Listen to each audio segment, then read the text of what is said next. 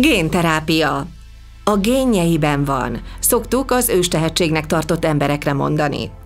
Bár a legtöbb képesség, amelyre ezt a fordulatot használjuk, valójában nem, vagy csak alig függ genetikai faktoroktól, ez a szóhasználat jól mutatja, hogy a közgondolkodásban a gén és az öröklődés fogalma teljesen összekapcsolódott. Ma már ezeket a faktorokat géneknek nevezzük, különböző változataikat pedig alléloknak.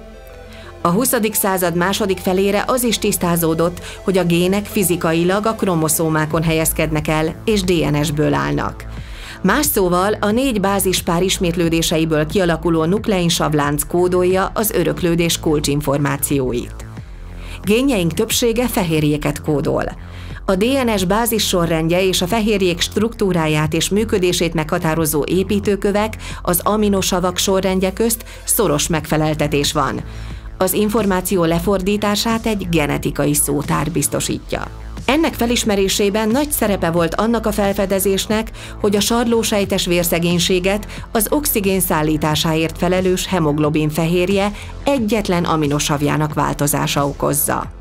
A sarlósejtes vérszegénység tehát egyetlen gén hibája miatt kialakuló úgynevezett monogénes betegség, amely recesszíven öröklődik, vagyis csak akkor alakul ki, ha az illető mindkét szülőjétől a hibás allélt örökli. A monogénes recesszív betegségek megismerése nagyban hozzájárult a génterápiás módszerek kidolgozásához. Ezek lényege, hogy a hibás gén egy működőképes variánsát juttatjuk be egyes sejtek DNS-ébe.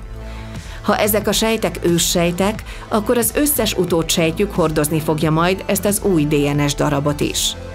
A sarlósejtes vérszegénység esetében például a hemoglobin génjét juttatják a vérképző őssejtekbe, amelyeket a beteg keringésébe juttatva a betegség gyógyíthatóvá válik. Számos más, súlyos gyerekkori genetikai betegségnél is hatásos lehet a génterápia. Ilyen a gerincvelői eredetű izomsorvadás, SMA, amely esetében a világ legdrágább gyógyszerének nevezett zolgenzmát itthon is sikeresen alkalmazták számos fiatal betegben. Itt az esemen fehérje működésképtelenségét sikerült egy kívülről bevitt génnel pótolni.